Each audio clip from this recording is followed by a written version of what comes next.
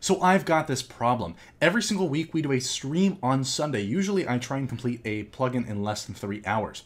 And we like to have some fan engagement and interaction, so we add anyone who wants to to our private testing server to test these plugins live on stream. The problem is that my buddy Coco has to manually add the Discord uh, playtesting role, send people server IPs, add them to the whitelist. It's a giant mess. So in this video, we're going to create a Discord bot that automatically adds all and, and just handles all of these things, except it's going to be a Minecraft plugin. So let's get into that. If you like this video, make sure to subscribe and ring the notification bell so you know exactly when I upload a new video or schedule a new stream. If you have coding questions or want to connect with our community, join our community Discord. We have a lot of awesome people there, and we'd love to see you on our server as well. One final thing, if you're watching this about when it comes out, 9-13, September 13th at 11 a.m. We have our Sunday stream. We're doing a three-hour challenge, which uh, the poll for what we're doing is still open, but it's looking a lot like we're going to do a duels plugin. So we're going to see if I can make a duels plugin in less than three hours. It's going to be crazy. Please join us there. It's going to be super exciting. All right, enough with that. Let's get right into the video. Okay, ladies and gentlemen, I've got our plugin here with our pom.xml configured. Uh, we've got this JDA dependency with some exclusions, which is just our, uh, it's called the Java Discord API and we've got all this set up. We've got the version of the API that doesn't include audio support because we don't need audio in this bot. If you're doing something with voice channels, you'll need this, but that's probably not great for a Minecraft plugin. Um, and it looks like we're going to need to talk about this thing called a listener adapter. There's a whole bunch of stuff. I've looked at this briefly last night um, before making this video, but I really don't know anything about how this works. We're going to have to make a new Discord bot with the developer portal there, add it to a server, all sorts of stuff. It's going to be really exciting. So let's go ahead and look for, here we go, create default token. So I know we got to go to um, the developer, eh, developer portal for Discord, and I'm already logged in, so we'll make a new application called playtesting app. Okay, and all right, that sounds fine. So we'll, we'll look at a bot here. We'll add a bot. And here is our playtesting app bot. Um, I'm not going to show the token. Um, I'm going to put this in a configuration file real quick. So I'll just show that happening over here. I'm going to say Discord, whoops, Discord token. Um, that's not YAML though. Hold on, I forgot how to do YAML. there we go. Okay, awesome. So there's that. Uh, I'm going to go ahead and copy this, put it in that uh, config file, and never open it again. Okay, so I've copied our token here, which of course I'm not going to show. And let's go down here, bot permissions. So I've seen parts of this. Um, we know we need to manage roles and um, I don't know about channels. For sure, send messages. Um, is there anything about reactions? Add reactions? No, we, we probably don't need to add reactions. We'll just need to receive them So we got this thing called the permissive eh, permissions integer. Now I know there's a website that generates a, a join server link.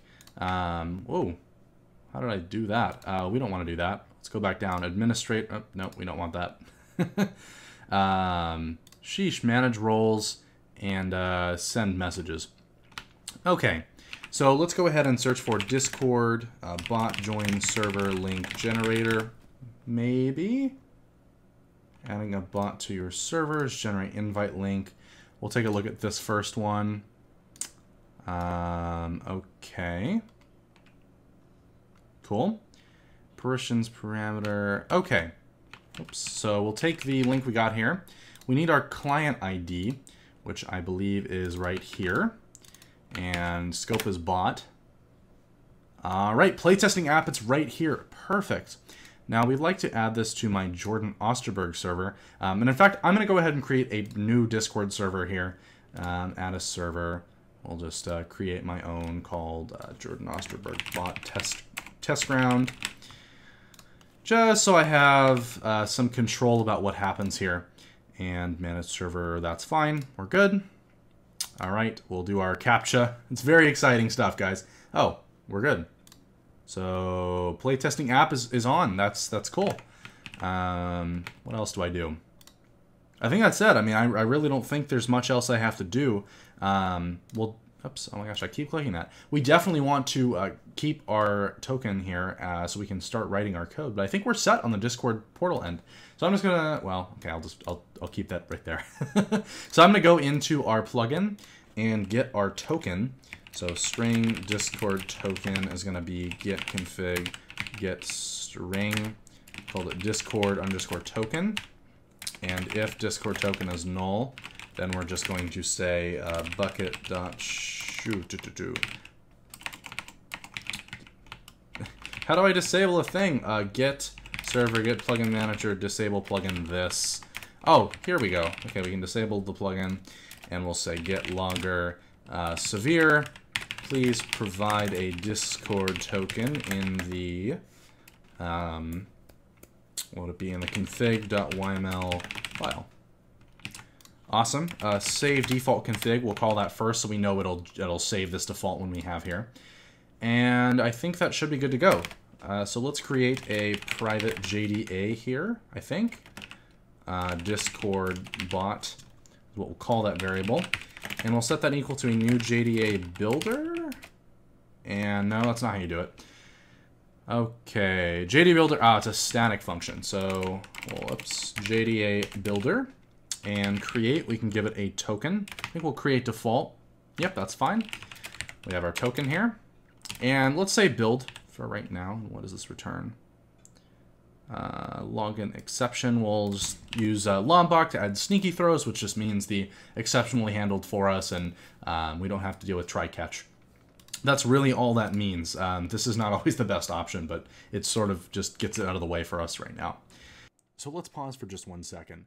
I realized that this video took about an hour to film, and not all of that hour was actually interesting content. It was mostly just me fiddling around and praying that everything would work. So I thought I would summarize some major events uh, instead of letting you guys watch that full unedited hour because, oh boy, it's boring. So we created a Discord event listener, which extends this thing called listener adapter, which basically just allows us to listen to different Discord events and respond to messages and so on and so forth. We then made sure that when messages were sent in the uh, playtesting IGN's channel, they're actually real Minecraft usernames and not something else. So we can't add a bunch of random garbage to the IGN whitelist. And finally, we tried to use the Minecraft server whitelist system before realizing that uh, we could actually code it ourselves in about five minutes. And we did that and it worked just fine. And then I went and cried for a little bit because I had just wasted about, oh, 40 minutes of my time. So with that, let's cut right back to some video highlights about uh, what was actually interesting here. I hope you guys enjoy.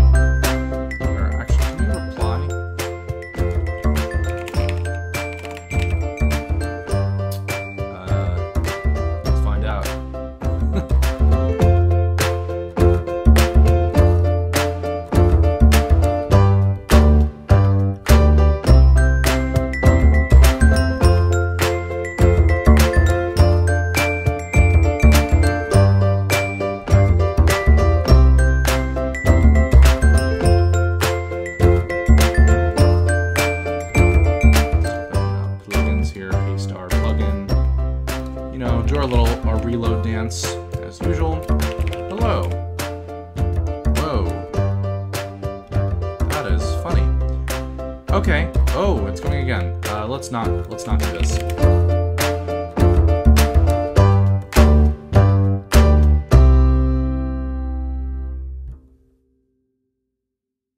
And there we go. So now if we reload our plugin, let's just run the clear command again.